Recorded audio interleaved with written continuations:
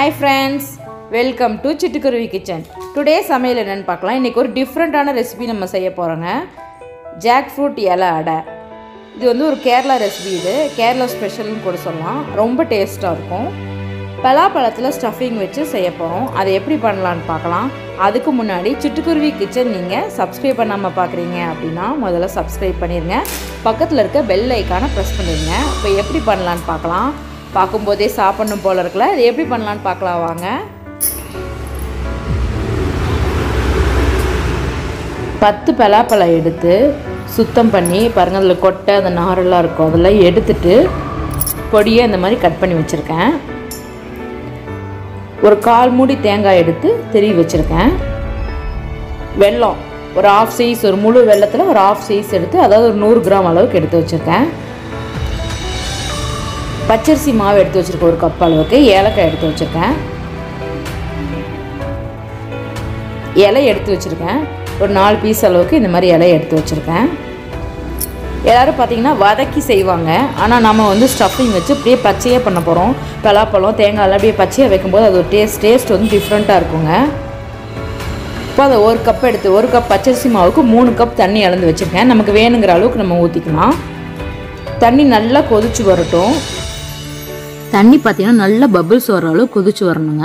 அப்போ தான் வந்து இலை அடை நல்லா சாஃப்டாக இருக்கும். நல்லா கொதிச்சு பாருங்கள் தண்ணி நல்லா கொதிச்சிருச்சு. இப்போ மாவு முதல்ல நம்ம ரெடி பண்ணிக்கலாம்.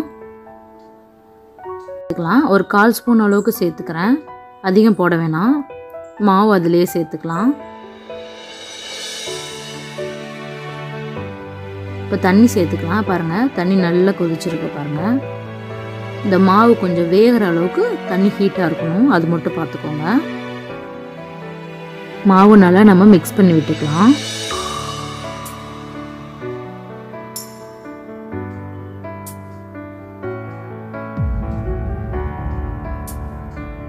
மூணு கப் தண்ணி எடுத்திருந்தோம். மாவுக்கு தகுந்த மாதிரி தண்ணி இழுக்கும். இப்போ நமக்கு நம்ம முதல்ல வந்து ரெண்டரை கப்பு அளவு ஊற்றிருக்கோம் அதுவே நமக்கு சரியாக இருக்குது மாவுக்கு தகுந்த மாதிரி தண்ணி இழுக்குங்க. பாருங்கள் நல்லா இந்த மாதிரி மிக்ஸ் பண்ணியாச்சு. இப்போ இது கொஞ்சம் ஆறினோன்னு கையில் பிசைஞ்சிக்கலாம். பாருங்கள் இந்த மாதிரி இருக்கணும். கையில் ஒட்டாத மாதிரி இந்த மாதிரி பிசைஞ்சு வச்சுக்கணும். மாவை மூடி வச்சிடலாம் மூடி வச்சுட்டு நம்ம ஸ்டஃபிங்க்கு ரெடி பண்ணலாம். நம்ம பலாப்பழம் எடுத்து வச்சுருந்தாலும் நம்ம பொடியாக கட் பண்ணி வச்சுருக்கோம். அதை சேர்த்துக்கலாம்.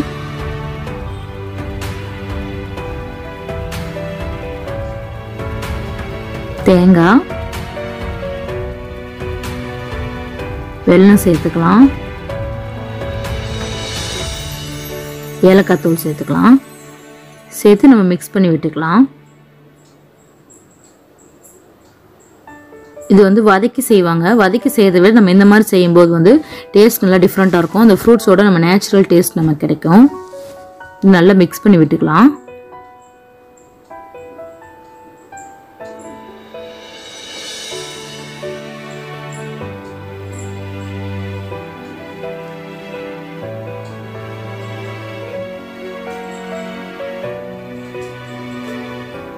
அவ்வளோதாங்க நம்மளோட ஸ்டஃபிங் ரெடி ஆயிடுச்சு. மாவு ரெடி பண்ணிட்டோம் ஸ்டஃபிங்கும் ரெடி பண்ணிட்டோம். இப்போ எப்படி நம்ம இலையிட செய்யலான்னு பார்க்கலாம் வாங்க. தேங்காய் எண்ணெய் எடுத்திருக்கேன் ஒரு டேபிள் ஸ்பூன் அளவுக்கு எடுத்திருக்கேன். முதல் எண்ணெய் அதில் தடவிக்கலாம். இலையில நல்லா தடவி விட்டுக்கலாம். மாவு உங்களுக்கு எந்த அளவுக்கு இலை சைஸ் வேணுமோ அந்த அளவுக்கு எடுத்துக்கலாம். ஆனால் நம்ம பூரி மாவு எடுப்போம் அந்த அளவுக்கு எடுத்துக்கலாம். லேசாக தண்ணி தட்டுட்டு தட்டி விட்டுக்கோங்க. எந்த அளவுக்கு மெலிசாக தேய்க்கிறோமோ அந்த அளவுக்கு இலை நல்லா சாஃப்டாக இருக்கும். மொத்தமாக இருக்கக்கூடாது. நல்லா மெலிசாக தட்டி விட்டுக்கோங்க.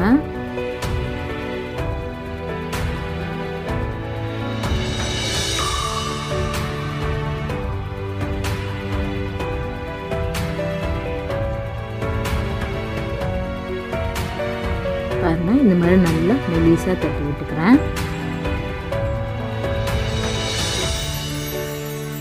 இப்போ ஸ்டஃபிங் வச்சுக்கலாம். நான் ரெண்டு ஸ்பூன் அளவுக்கு வச்சுருக்கேன். அதை அப்படியே ஒரு பக்கமாக அப்படியே நகர்த்தி விட்டுடலாம்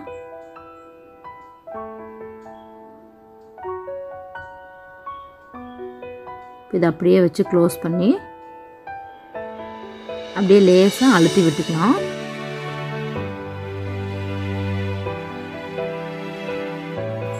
அவ்வளோதாங்க நம்ம இலையடையை பேக் பண்ணிட்டோம். நல்லா ஸ்டஃபிங் வச்சு பேக் பண்ணியாச்சு. இதே மாதிரி உங்களுக்கு ஒன்று ஒன்று வச்சு காட்டுறேன்.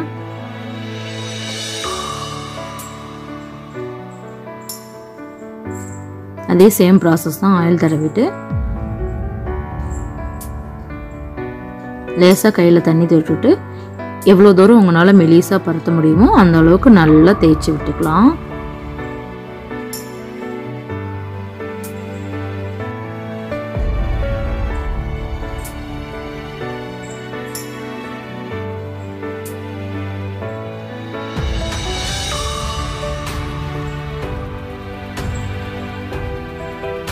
ரெண்டு ஸ்பூன் அளவுக்கு ஸ்டஃபிங் வச்சாச்சு.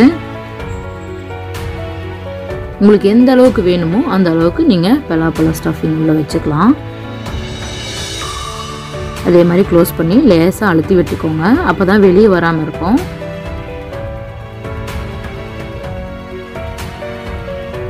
அவ்வளோதான் இதே மாதிரி நான் எல்லாத்தையும் பேக் பண்ணி எடுத்துக்கிறேன். பாருங்க எல்லாத்தையும் நான் பேக் பண்ணி எடுத்து வச்சுட்டேன். இப்போ நம்ம எப்படி இட்லி அவியில் வைக்கிறதுன்னு பார்க்கலாம். பாருங்க இட்லி அவியில் கீழே தண்ணி ஊற்றி பிளேட் வச்சுருக்கேன். இது மேலே ஒவ்வொரு இலையாக நம்ம வச்சுக்கலாம்.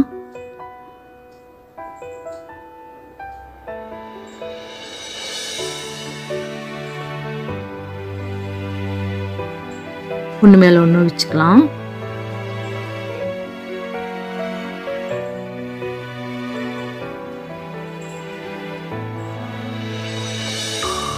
நம்ம க்ளோஸ் பண்ணிக்கலாம்.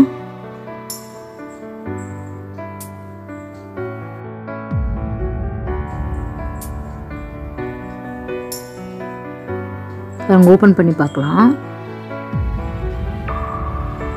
பாருங்க மேல உள்ளது நல்லா வெந்திருக்கு.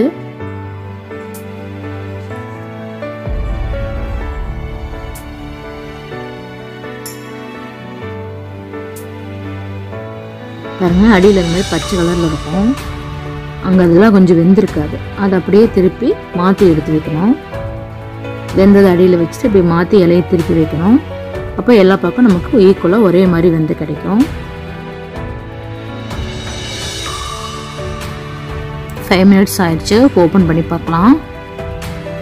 பாருங்கள் நல்ல கலர் சேஞ்ச் ஆயிடுச்சு. நம்மளோட இலை- இலையடையெல்லாம் சூப்பராக ரெடி ஆயிடுச்சு. இப்போ நம்ம எடுத்துக்கலாம்.